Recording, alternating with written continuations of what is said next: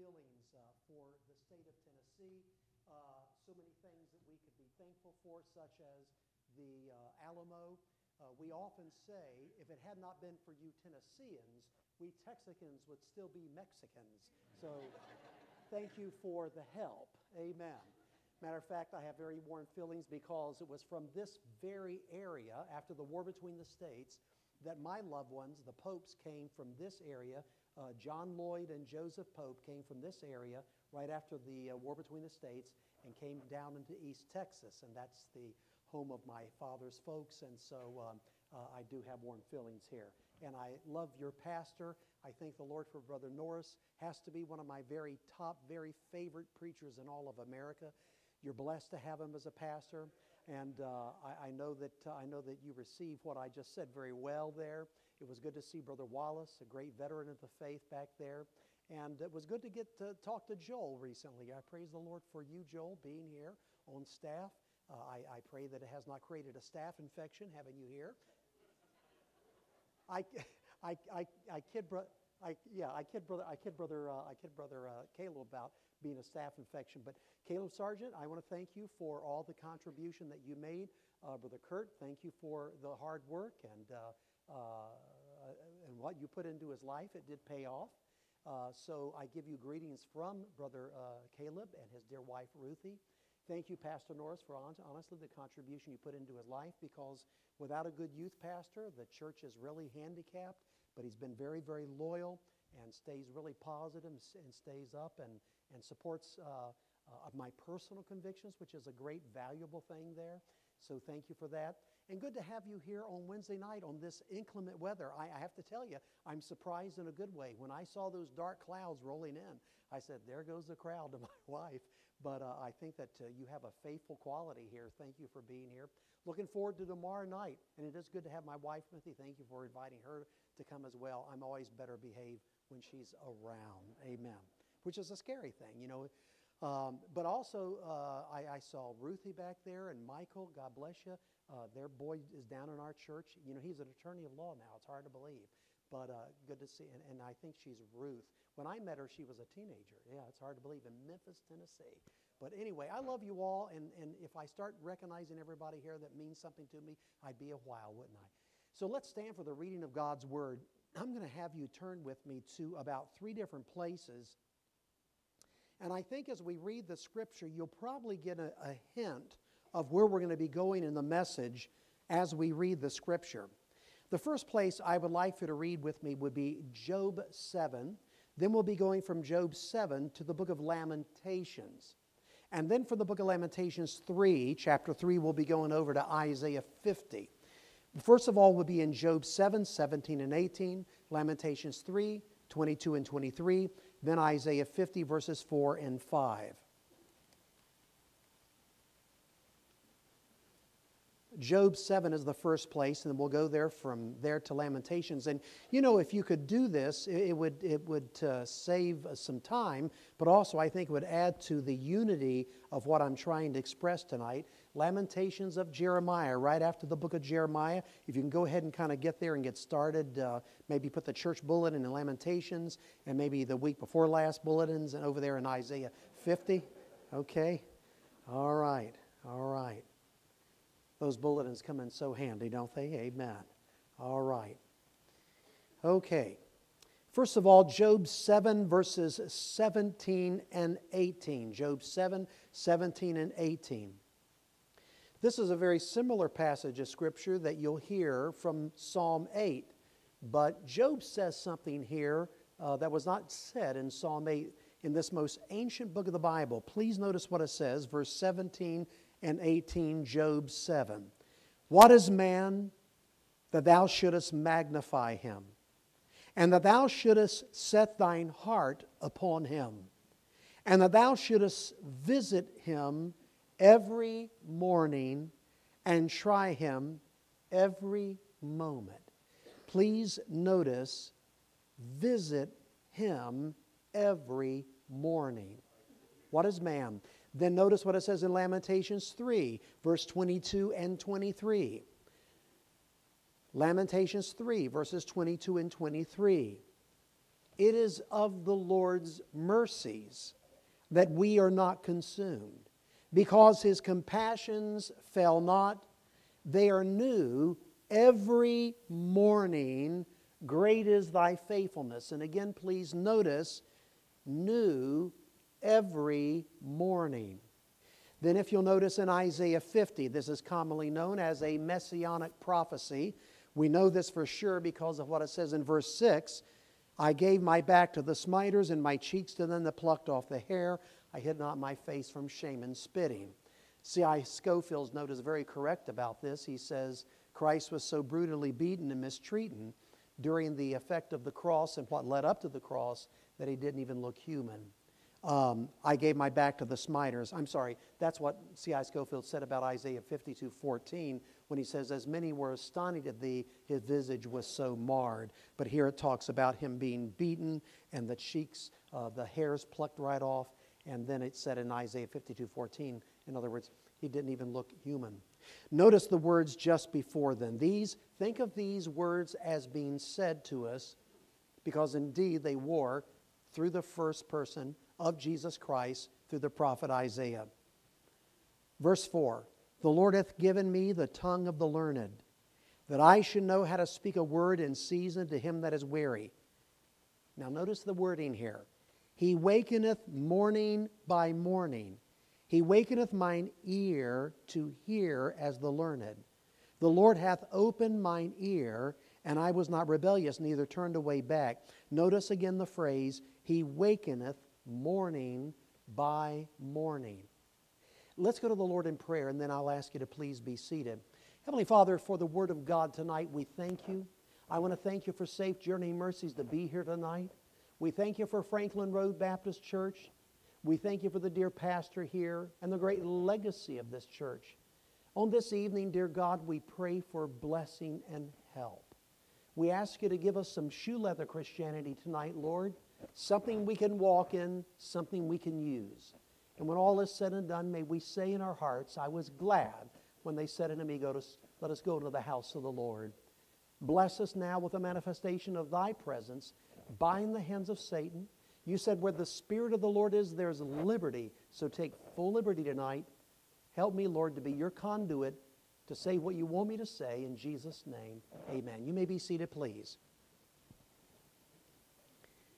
If I could um, bring your attention back to the book of Job in verse number 39, you know, God gave a bunch of questions to Job and all of his friends when they asked him a lot of questions that he didn't answer. But he had all these questions at the end of the book of Job. And what God was talking about was look at my creation. In other words, where were you when I was doing all of this? That's always a good question. When you think that you're exasperated and you can't go further and you're wondering how things can work out, if God can put the sun up yonder in the tabernacle of the heavens, if He can put the moon shining like a yellow jonquil in full boom, bloom, if He can scoop out and made the places for the ocean, fill it up with water, rope it off of sand, He can take care of you. Consider the lilies of the field. And I love this. God says in verse number 19 of Job 39 Hast thou given the horse strength? Hast thou clothed his neck with thunder? Canst thou make him afraid as a grasshopper? The glory of his nostrils is terrible. I mean, God is bragging about the creation of the horse, but especially the horse at war, the war horse. He paweth in the valley. Did you ever hear Brother Roloff preach that sermon? Pawed in the valley and rejoiceth in his strength. He goeth on to meet the armed men. He mocketh at fear. What a great thing, isn't it? He makes fun of fear. And is not affrighted, neither turneth he back from the sword. The quiver rattleth against him, the glittering spear and shield. He swalloweth the ground with fierceness and rage. He gets excited when it's time to fight. And you've heard this expression, maybe you've said this expression when you're happy about something, you sometimes say, I just can't believe that, you know, and fill in the blanks. And it's like God is saying about his horse when the trumpets of battle sound. It says, um, He swalloweth the ground with fierceness and rage, neither believeth he that it is the sound of the trumpet. He saith among the trumpets, Ha ha! It's an unusual thing, isn't it? God says the horse is laughing when he hears the trumpet that sounds forth to war. And he smelleth the battle afar off, the thunder of the captains and the shouting. When the ancient countries would go into battle, they would travel many times through the night, get as little sleep as was required. And then, as the morning would break, the trumpets would sound, the men would go forth to war. Hear the war horse, hears the sound of the trumpet.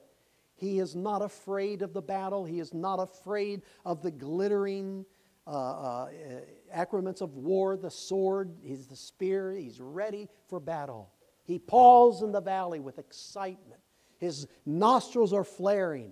He eats up the ground. He runs so fast. When he hears the sound of the trumpets, he laughs with glee. Ha ha, the Bible says. Now, keeping that in mind, the three passages of Scripture that we read for the text, did you pick up what it said? In the seventh chapter of Job, what is man that thou art mindful of him? And then he says that thou visit him every morning. He says in Lamentations that um, God's mercies are renewed to us every morning.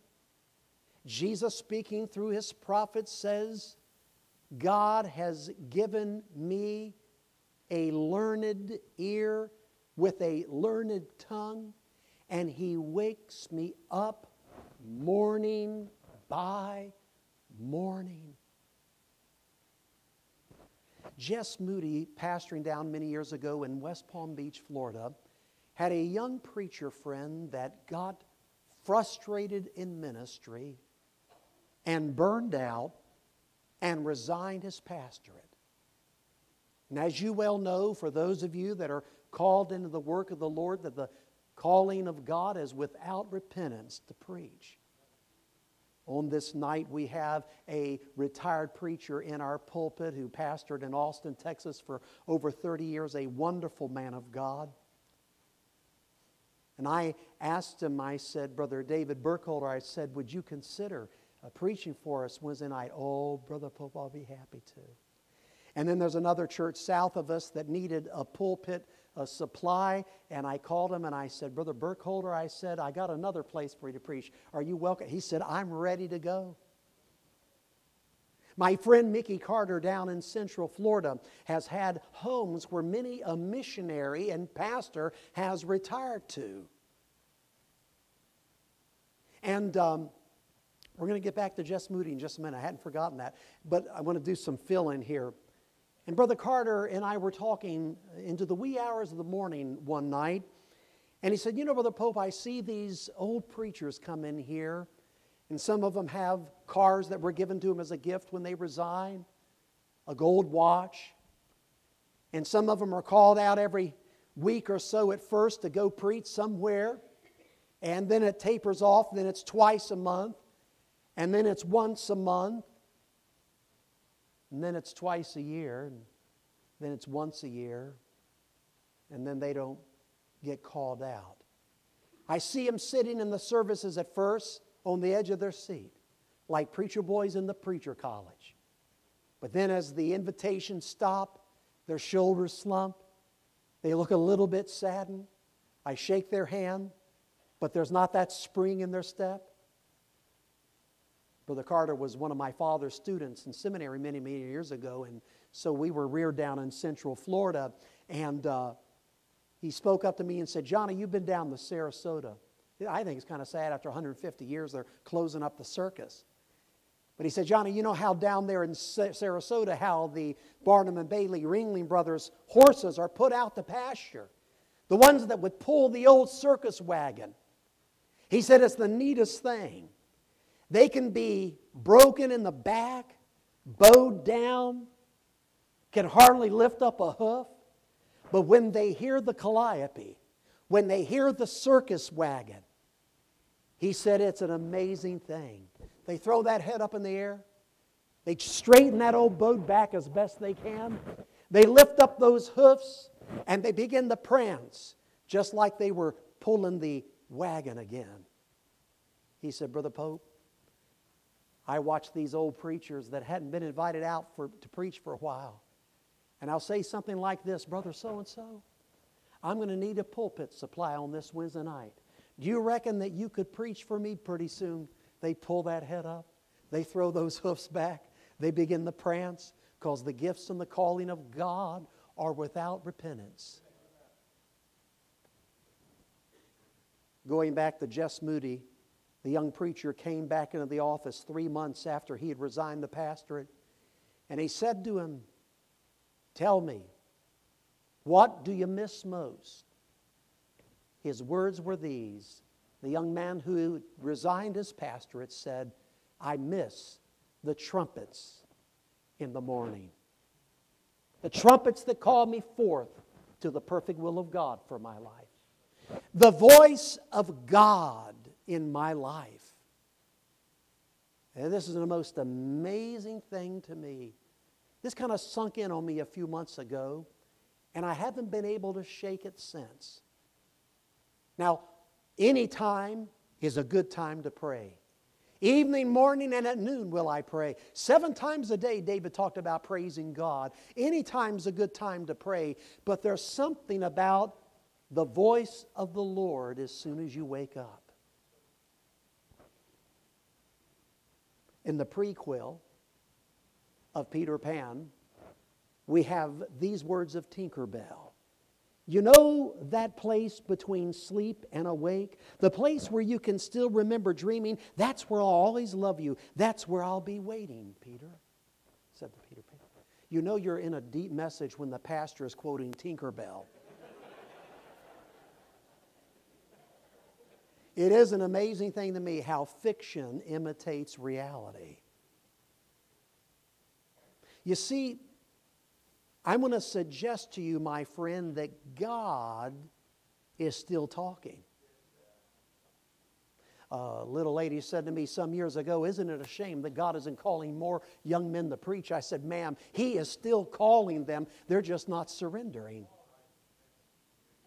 The Bible says no less than 15 times in the New Testament, He that hath ears to hear, let him hear.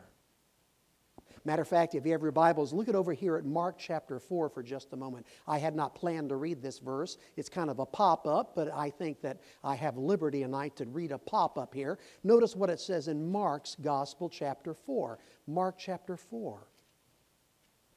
It says in verse number 23, the words of Jesus If any man have ears to hear, let him hear. Now, I'm not going to ask for anybody to raise a hand, but how many of you wives know that men can have ears of perfect hearing but yet not hear? I wonder how many of you have teenagers that have perfectly good hearing but don't hear? All right, you don't have to look around, you don't have to look far. Verse 30, verse 24 rather, Mark 4, and he said unto them, Take heed what ye hear.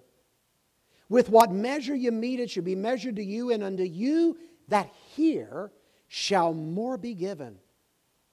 Let me just stop there for a moment and back up. Put it in reverse. And unto you that hear shall more be given. That reminds me of Psalm 36 and verse number 9. In thy light shall we see light. Since the Word of God is a light into our path, you know, right? He doesn't give it 10 miles down the road, but He puts that light right in our pathway.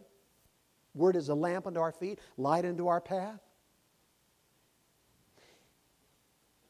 You know, many times we want to know what the custom will of God is for us, don't we?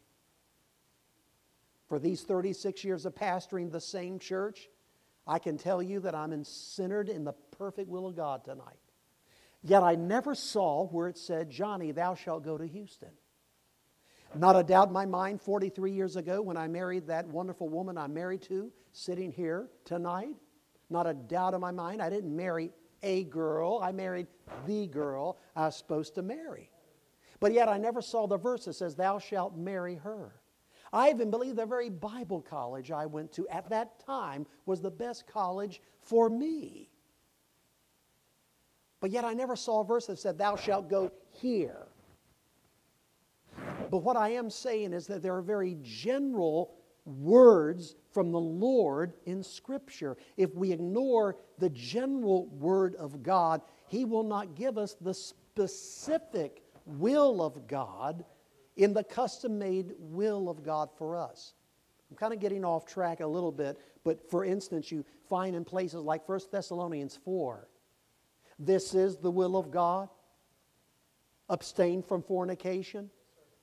You know, when God says, This is my will, that you are to be sanctified, separated, and abstain from fornication, you don't have to guess. You don't even have to pray whether or not you should, because it's right there. Luke 18, 1, men ought always to pray and not to faint. And Paul said to Thessalonica, pray without ceasing. You don't have to pray whether or not to pray. Good morning, Lord. I, I, should I pray or not? No, you, he commanded us to pray. Go ye into all the world and preach the gospel to every creature. Two things there. You don't have to pray whether or not you should fulfill the Great Commission. And actually, if you think about it, you don't even have to pray about who to witness to. If they qualify as a creature, give them the gospel. To every creature. Right? God didn't step back and say, eeny, meeny, miny, mo, this one stays and that one goes. Whosoever will may come. Whosoever will may come. He is the propitiation for our sins, not for ours only, but also for the sins of the whole world. You know what that means in the Greek? Whole world. God, the, God, the world God loved and gave himself for. Now, here's what I'm saying. Many times we're ignoring what the Bible plainly says. And maybe tomorrow night we'll remind uh, our friends at the banquet that the Bible says, Husbands, love your wives even as Christ loved the church. So obey what you hear from God. You know what? On a Wednesday night at Franklin Road Baptist Church, I don't think that that's the problem. I'm looking at people who came out not only on Wednesday night prayer meeting, but came out on a stormy night. Our problem is, listen to me carefully, that I think that many times we're not starting our days off correctly. A few moments ago, I walked into the room, that preparation room, before we came in here. When I saw your pastor and he saw me, I did not ignore him. I immediately opened my arms, gave him an embrace. How you doing? I was glad to see him. I, I, think that we might have had a hard time getting ready for our service tonight if I was in the same room with him and I kind of cornered myself off and didn't say a word to him. But now, he's only a man. I'm only a man. I'm submitting to you that according to God's word, every morning he's waking up his kids. Every morning Job said he visits us. Jeremiah said they're renewed every morning, these mercies of God. It's His mercies that we're able to stay alive through the night. You know, I think about some of these people who go through these sleep tests and they said, My, my, my, they found out that I stopped breathing so many times through the night. And the guys that are telling me this are in their 60s. Well, what, it wasn't a machine that kept them going through the night for 60 years. I'm not saying that they didn't stop breathing, but isn't that amazing thing? They stopped breathing all through the night, and God kicks them up, jump starts it through the night. You know? It's of the Lord's mercies that any of us are here. And every morning, He seems to be waking us up. I'm going to be honest with you. I want to challenge everybody here when you get up in the morning, don't get up real fast. In that twilight, when you're in between that sleep time and awake time, listen carefully because God's got a word for you. And now, for several months, I've been practicing this, and it appears that when I'm waking up, if I'm just still for just a moment, it seems like there's a word from the Lord that comes to me. You say, Does God speak to you?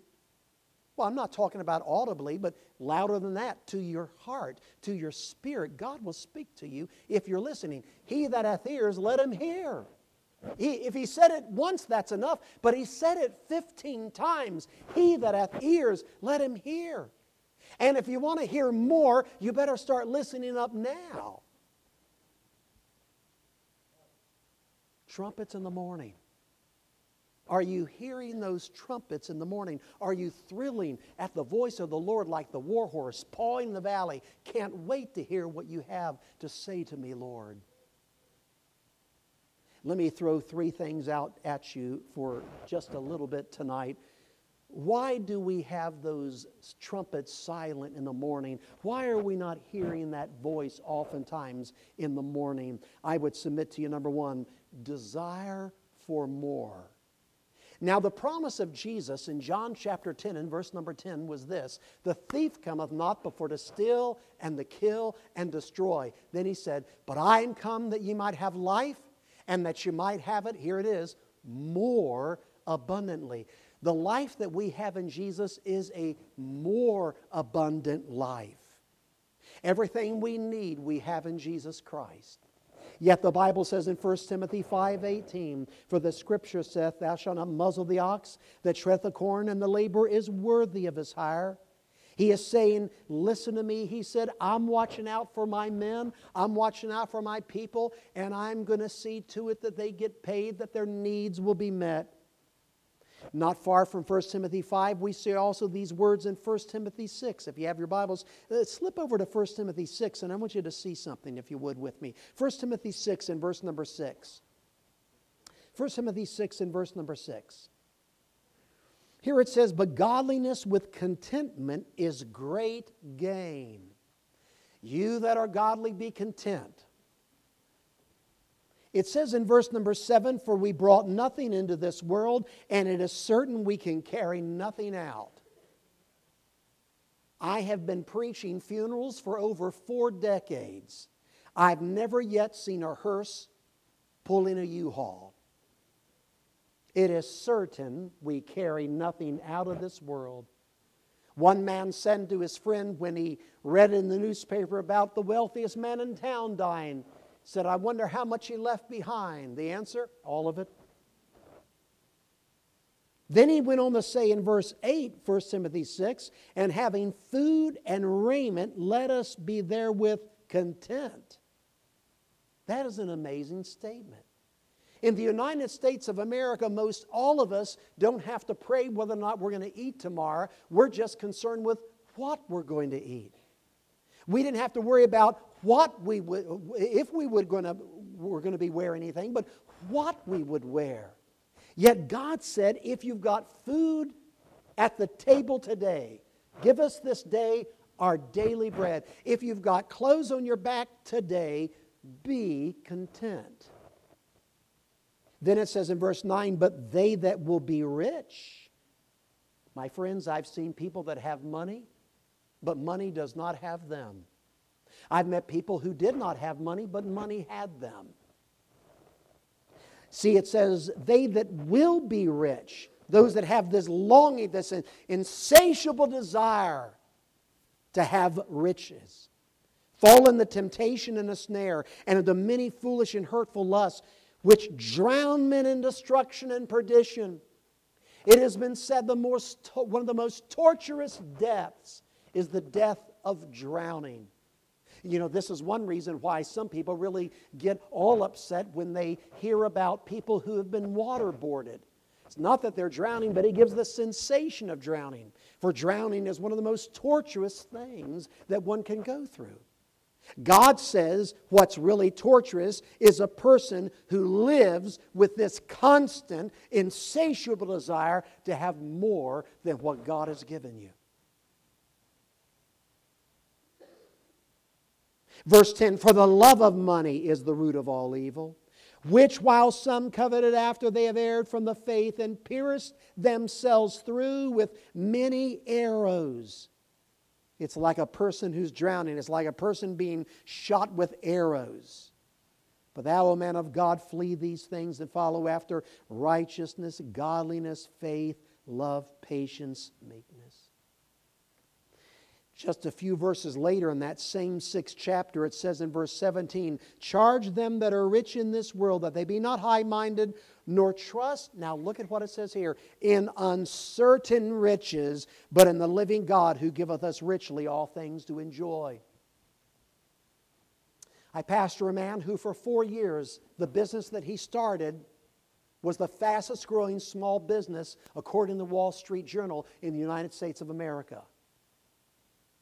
When he came to the top of his profession and was ready to sell out, he gave each one of his sons a million dollars worth of stock. He himself had a million, pardon me, he himself had $40 million just to retire with. Some of you remember just a few years ago, 2008, there was a downturn economically. His boys that had million dollars worth of stock said, Dad, should we sell? They've dropped to 800,000. He said, Don't worry, boys, it's coming back. Dad, it's 600,000. Should we sell? Hang in, boys, it's going to be okay. Long story short, both the boys got out with $2,000 each. Million dollars of stock, now 2,000. My friend that I pastored, $40 million, lost it all. Every bit of it. I mean, driving the nicest car, living in the nicest houses. Now everything's changed. Total paradigm. All of it gone. The inheritance he left with the son, gone. But I will tell you this through that time, he stayed as faithful to church, kept his smile, kept that spring in his step, kept on going. We talked about it. His whole attitude was it was only money. I've still got Jesus. He's got the joy of the Lord, which is his strength. I'm around the man, and it's obvious to me that he has this close personal relationship with the Lord. Years ago, when it became popular to teach in our so called schools of higher learning that God is dead, a dear uneducated preacher built a magnificent sermon if God is dead. And his points went something like this Number one, if God is dead, why wasn't I notified since I'm next of kin? Number two, if God is dead, who were his pallbearers? Number three, if God is dead, where is he buried? And I love this. Number four, if God is dead, who did I talk to this morning? You know, you don't have to convince a man that life is worth living who has a constant, daily relationship with Jesus Christ. Renewed every morning, the voice of the Lord every day. But I will tell you this, my friends, hardly anything can silence the voice of God faster than when we begin to want more than what God has given us. My God shall supply all, not some, but all your need. And I love this according to his riches in Christ Jesus. If I'm worth a million and I see you have a need and I give you $250, I just paid you out of my riches. But if I give you 250,000, I paid you according to my riches. God says, I will meet every need you have according to my riches. There's one little word there that we sometimes forget. All our need, not our greed. One of the greatest things that God can do for us many times is to not give us everything we want. When our oldest child was just a toddler, she was perpetual motion. I mean, that girl was so fast. She would, her mama turned her back one day, she got on a tricycle and went around the block. Boy, Barbara uh, notified everybody, and they were searching when we found her, and she came scooting back in there. Where were you, honey? Well, she was on the move. Our next door neighbor's kid, named David, got one of these electronic cars. She wanted one so badly, she began to cry. She wanted that for Christmas so badly, but I knew my daughter, perpetual motion. I mean, she was hard to keep still with a tricycle.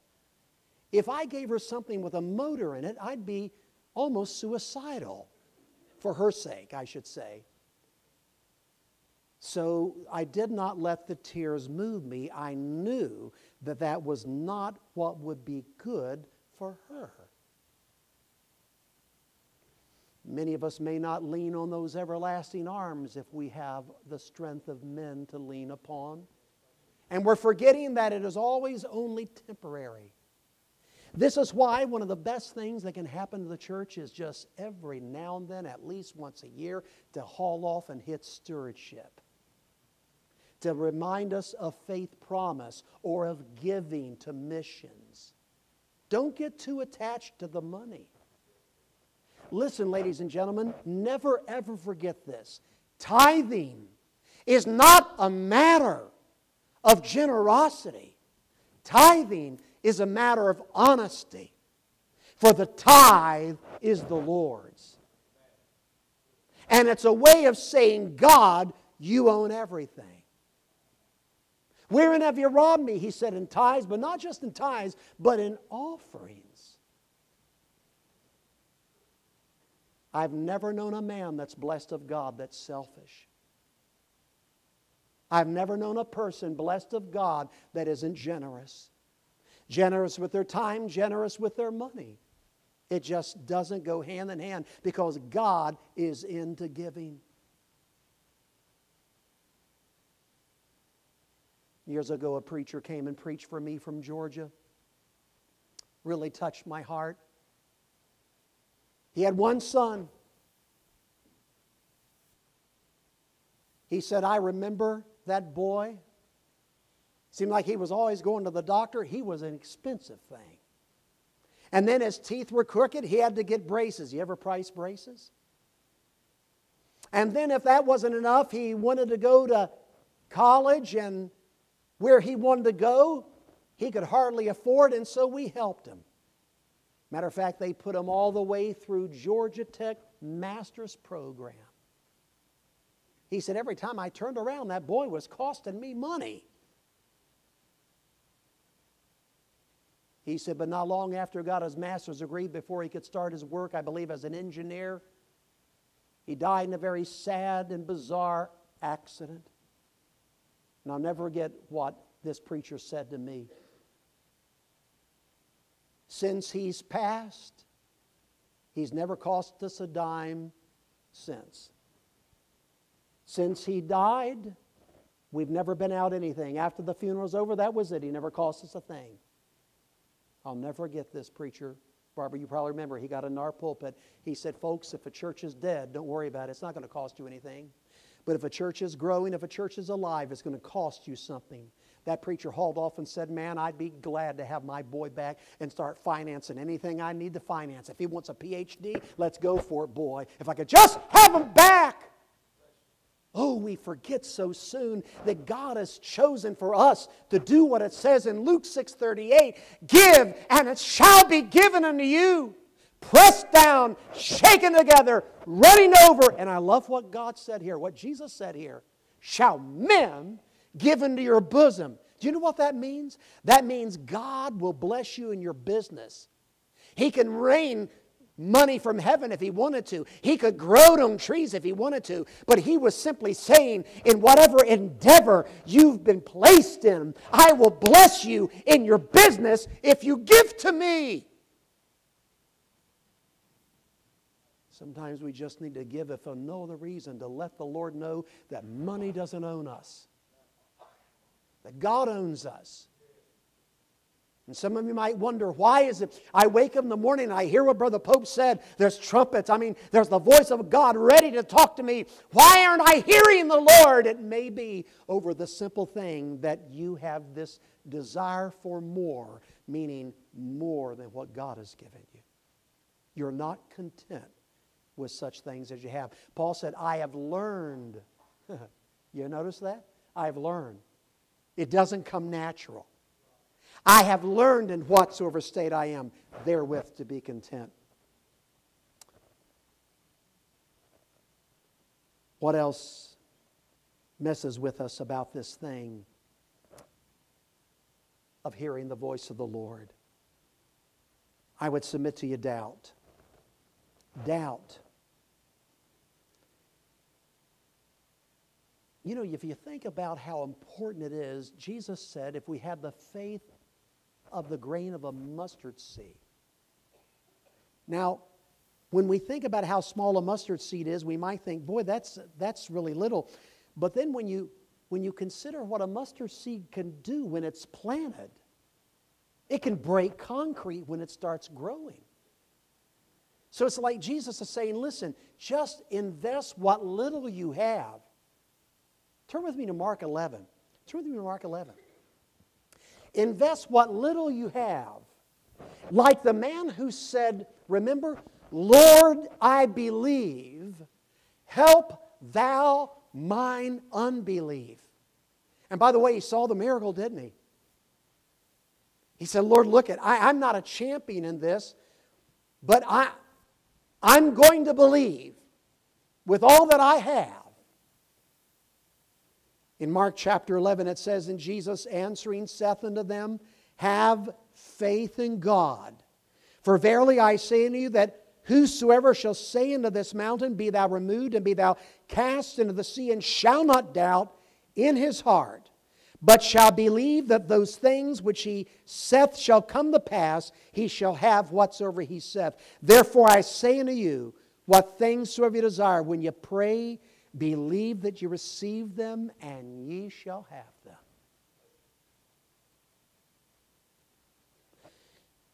Shall not doubt in his heart. What does it mean to doubt?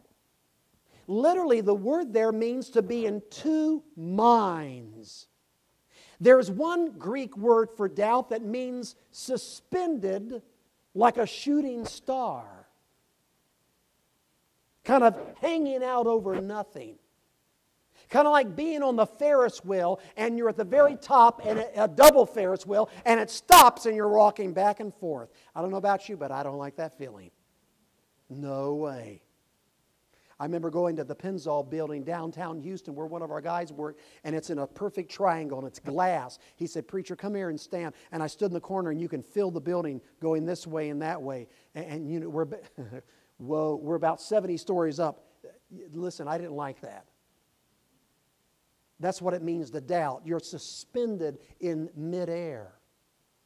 Uh, matter of fact, James 1 talks about being like a wave driven with the wind and tossed. Doubt can bring us down. If you have your Bibles, look at Romans chapter 4. Romans chapter 4. This is a passage of Scripture I've been thinking about for months, and, and I can't get away from it. And um, so I share it with you tonight. God is talking about Abraham in verse 17 of Romans 4 as it is written, I have made thee a father of many nations. This is a promise that God gave to Abraham when he didn't have any children, and he and his wife were both past childbearing. So he even changed his name from Abraham, father, to, A, to I'm sorry, Abram, father, to Abraham, father of a multitude. Before him who, let me write, come back, verse 17 chapter 4, Romans, as it is written, I made thee a father of many nations before him whom he believed, even God who quickeneth the dead and calleth those things which be not as though they were. That's what God can do.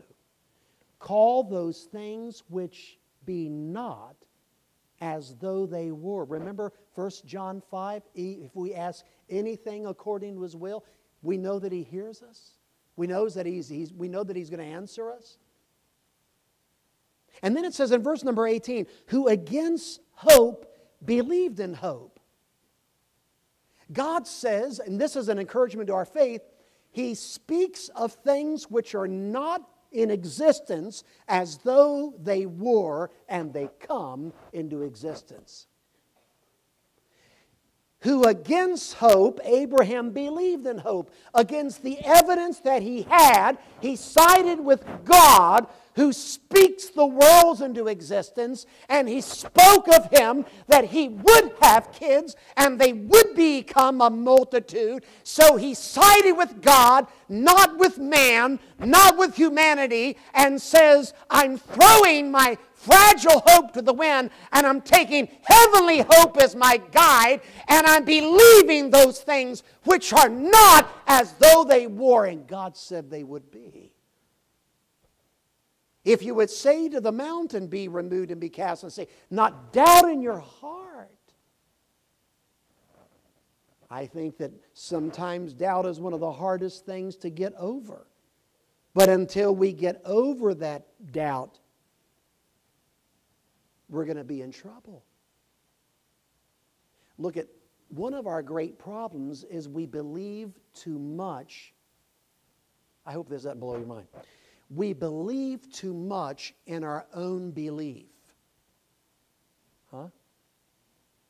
And there's a lot of power of positive thinking that's still around. I remember Norman, Norman Vincent Peale, the power of positive thinking. Remember the old time preacher said, The more I read Peale, he's appalling. The more I read Paul, he's appealing. Amen. And it's still in the United States of America. Just think positive.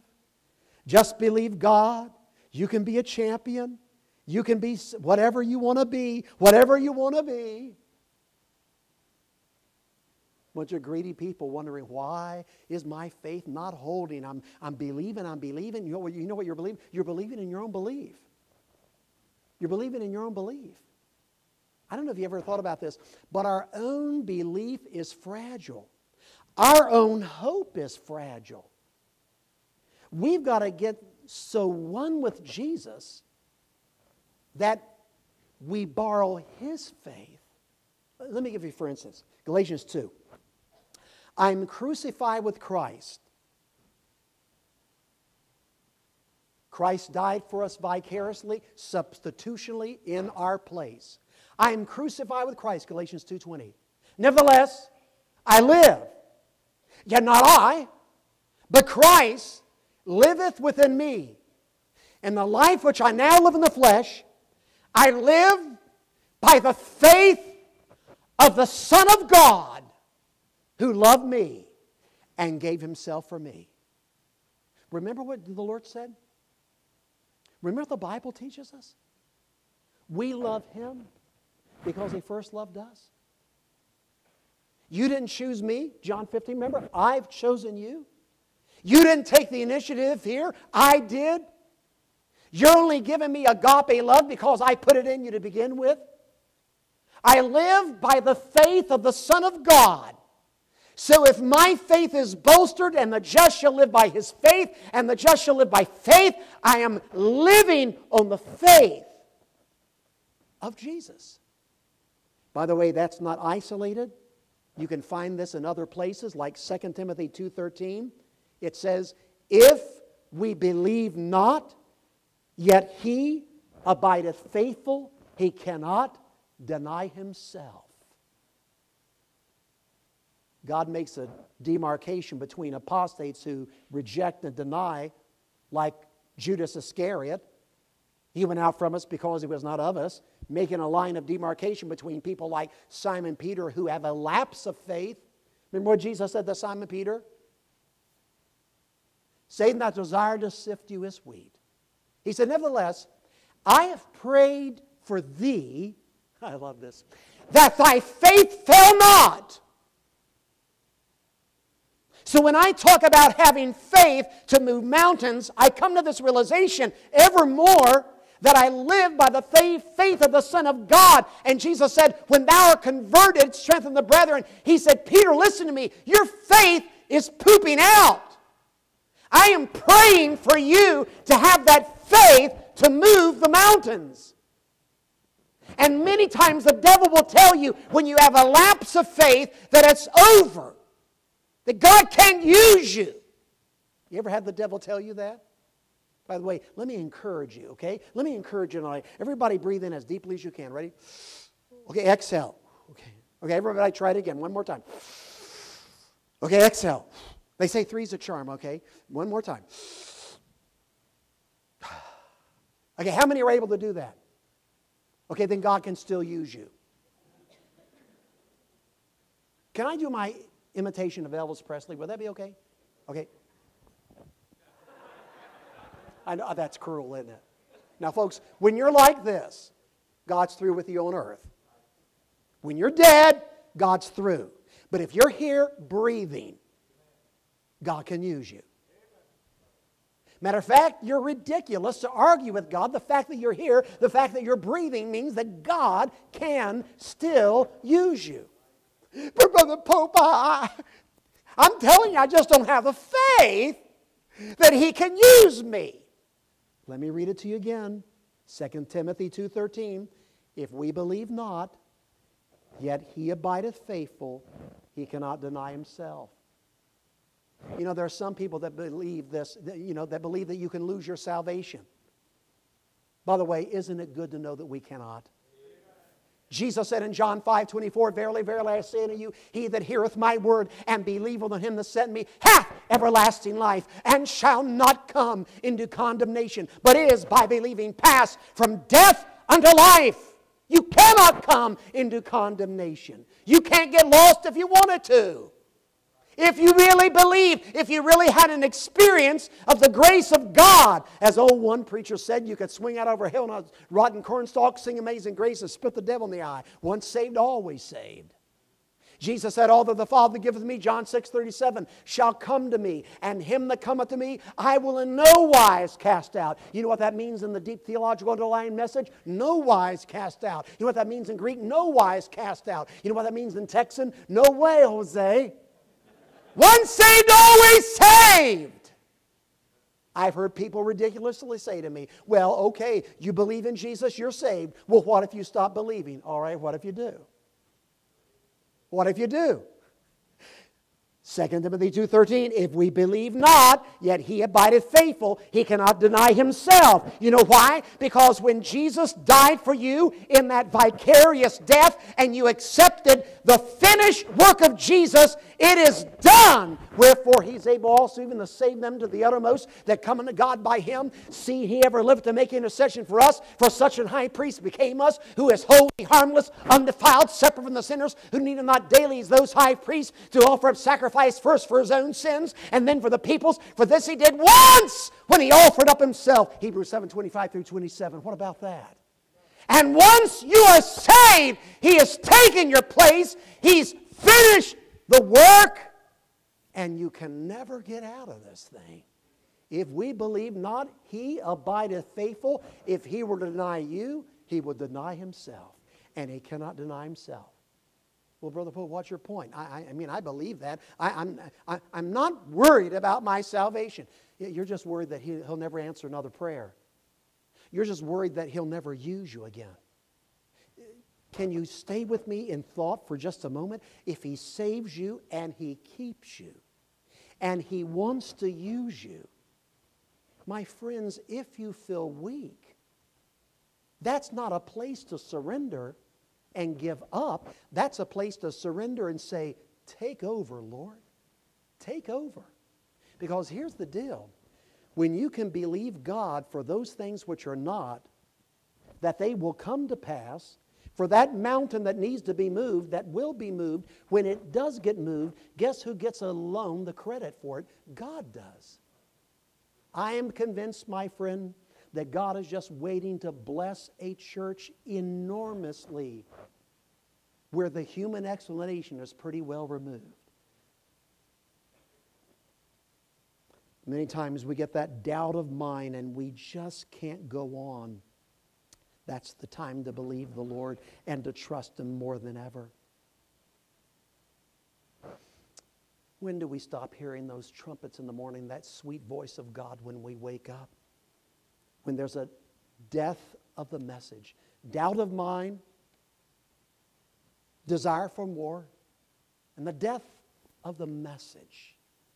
We mentioned about the Great Commission a while ago, but I think that sometimes we think that we have evolved past the Great Commission. And yet God said in 2 Timothy 4 2, preach the word being instant in season and out of season. Jesus said, As the Father sent me, so send I you. Well, the reason we have a preacher is so, so, that he'll do our soul winning for us. I won't belabor this point, but I'll give you something interesting to think about.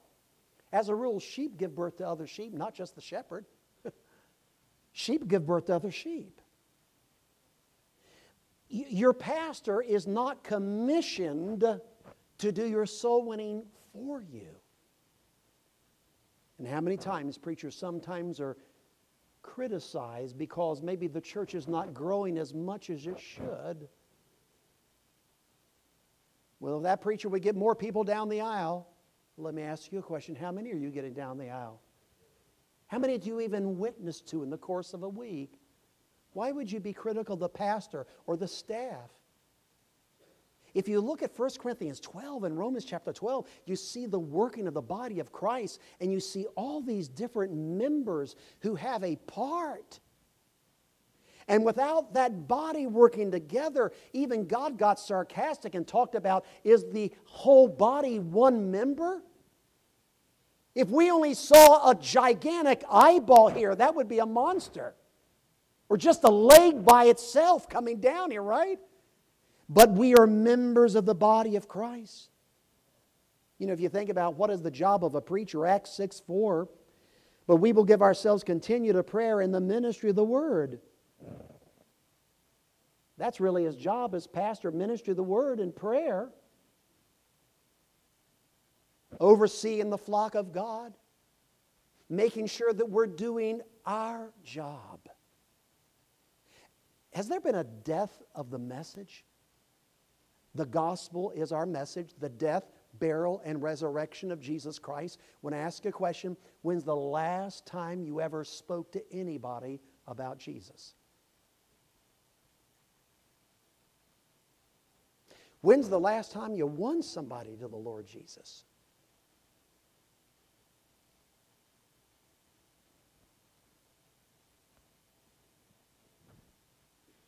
Jesus said in John 4, Say not ye, there are yet four months, and then cometh the harvest. Behold, I say unto you, lift up your eyes and look on the fields, for they're white, already to harvest. A lot of times we think, well, with the condition of our world right now, just no use in trying to witness because it's harder than it used to be. You know, the Bible says, where sin abounds, grace doth much more abound. I'm thinking of a lady that I baptized Sunday night, reared in an Islamic country, devout Muslim. She was in our services the other day, and on that day I just hauled off and paid tribute to what I believe the Bible teaches against heresy and against false teachings, such as the belief of the Islamic faith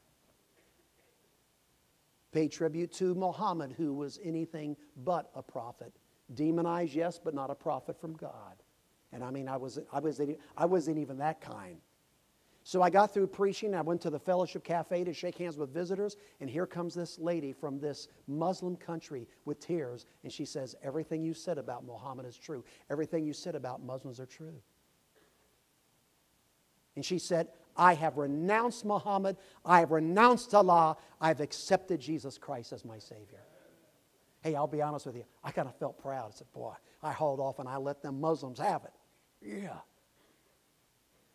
So I'm getting ready to baptize her this last Sunday night. And she said in her broken accent, Can I say a word for Jesus? I said, You sure can. And here's what she said My neighbors Rudy and Helen were so kind to me. I never knew such love. I never saw such love. And when I saw what they had, I had to have what they had.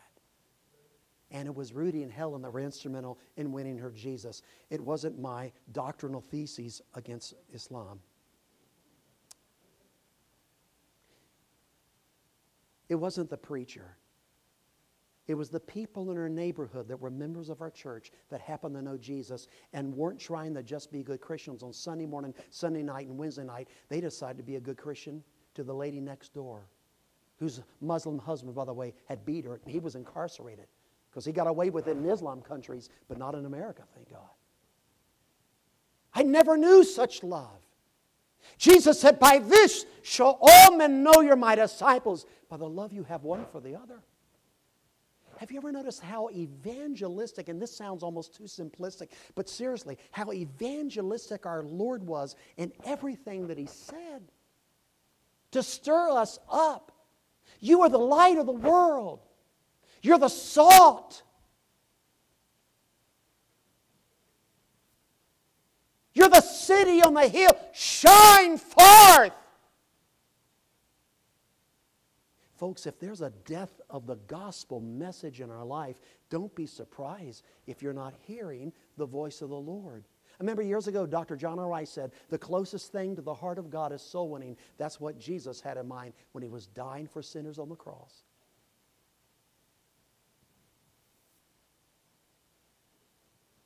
Must I go in empty handed? Must I meet my Savior so? Not one soul with which to greet him. Must I empty handed go? Psalm 126, 5 and 6 They that sow in tears shall reap in joy, and he that goeth forth and weepeth, bearing precious seed, shall doubtless come again with rejoicing, bringing his sheaves with me. Bringing the sheaves with yourself, with you. You have this ability to be a witness, to make a difference.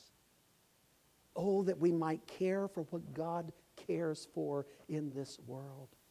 Let us not be like Jonah running away from God's will and God's message, but let us surrender to God's message and His will for our life. I'll just be real honest with you, folk. Anybody can get backslidden on this matter of being a witness and a soul winner.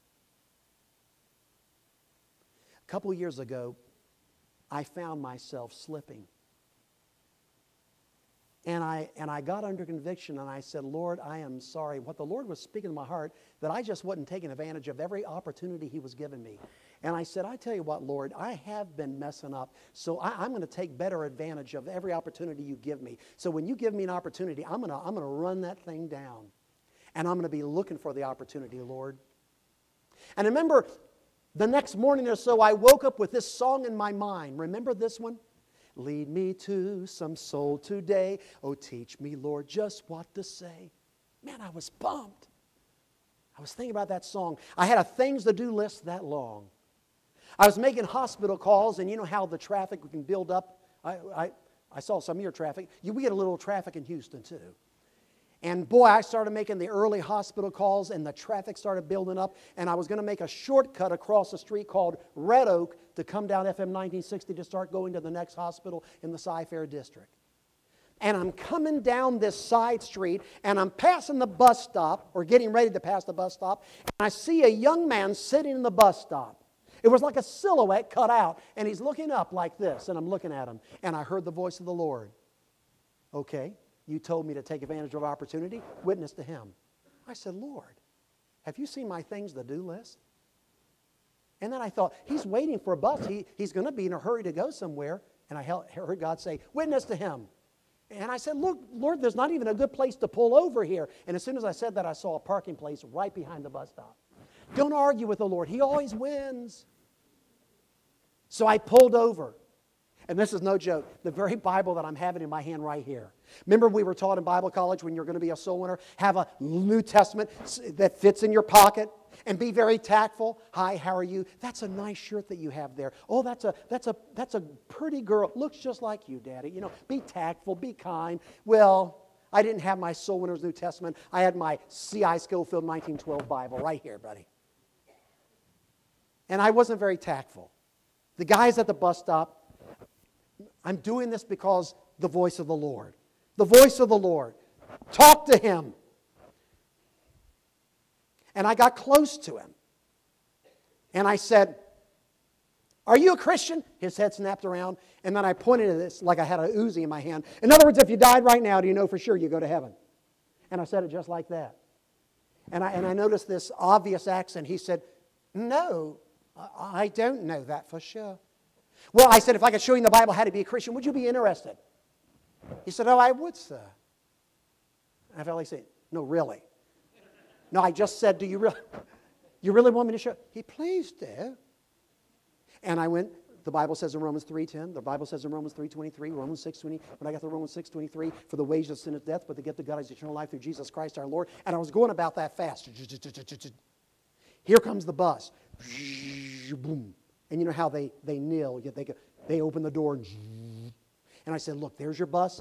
Here's a gospel tract. It basically says the same thing I would have said to you. Here, read this.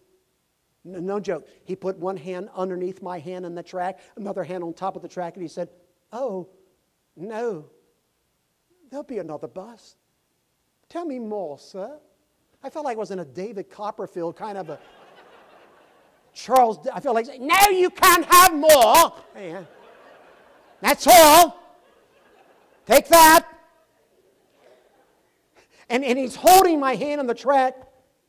And I look at the bus driver and I said, and he looked at me and he went, drove away. So I thought, if that kid wants to know the gospel this seriously, looked like he was in his mid 20s, I'm going to give it to him. And it was kind of a warm morning. I took my coat off. I opened up that Bible. At that time, I was preaching through what the religion of the world believed, and I was preaching from, from Genesis to Revelation. And he was sitting there going, and I was going the. I didn't have to worry about anybody bothering us. I mean, if they got near, you know, just ooh, I mean, I'm sweating giving him the gospel. I'm getting excited. He wants Jesus.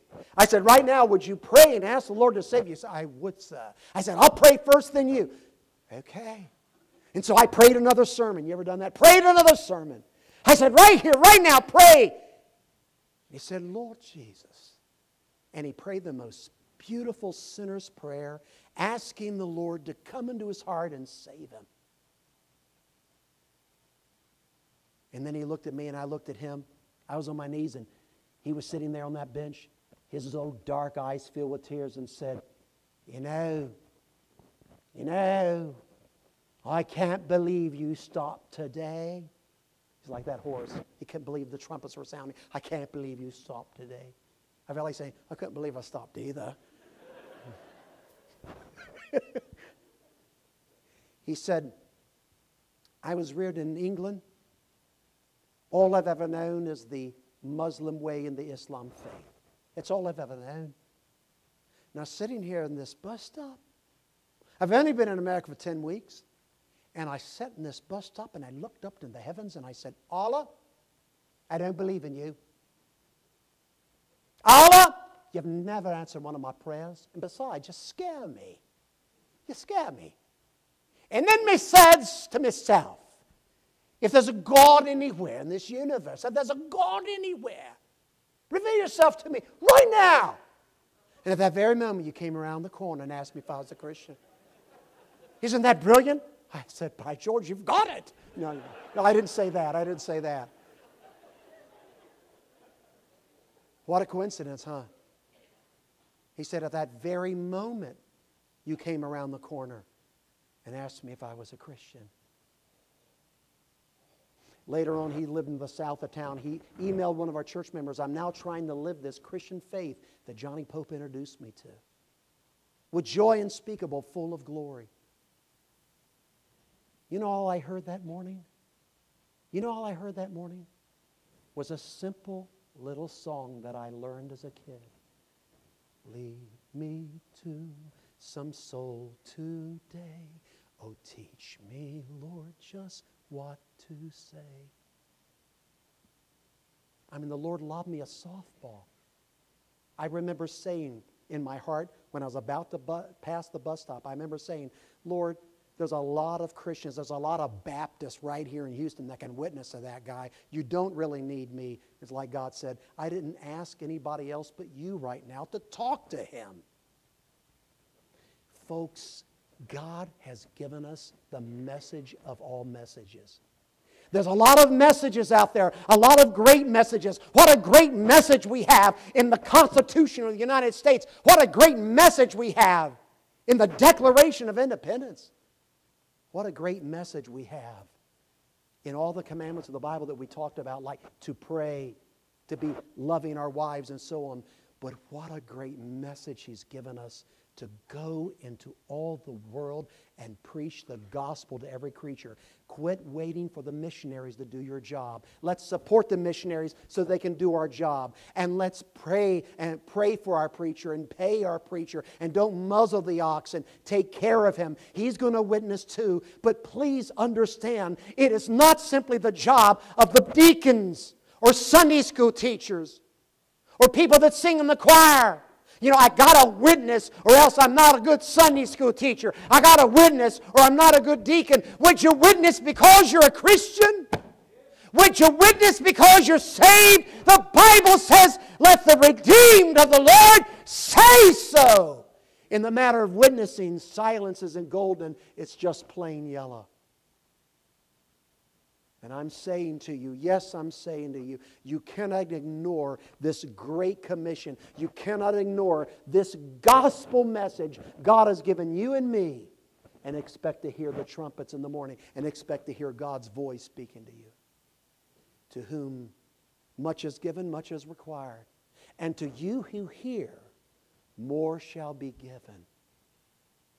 He's waking you up every morning He's wanting to talk to you as soon as you get up, get up and talk to you throughout the day and unbroken communication. But, folks, there are three things that can break communication your desire for more than God's given you. Don't ever forget that. The doubt that comes into your mind that you're not addressing and you're not willing to let Him give you His faith. And then the denial of the message that God's given you, the death of the message in your heart can silence the voice of God in your life. Don't do it. Let's pray. Father, thank you for the word of God, sharper than any two edged sword. On this evening, O oh Lord, I pray that you'll speak to each and every one of us and let us hear your voice. Even tonight, I expect to hear your voice in the morning, Lord, as you promise, as you wake us up every morning. But on this invitation night here at Franklin Road Baptist, God, speak to our hearts.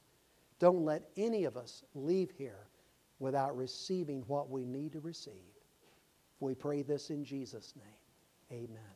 Why don't we all stand up and let's go ahead and do an invitation here. And if anybody, God spoke to your heart, if it's like our church, if God speaks to your heart, we encourage you to come to the front and just kneel up here and get some things right with the Lord. If there's one person that needs to be saved, then come. Jesus loves you and He wants to save you. Meet with the preacher, meet with Brother Joel over here. Give him your hand and say, I want to be saved. But if you need to just pray, come on up and let's pray. Would you come as we have that invitation?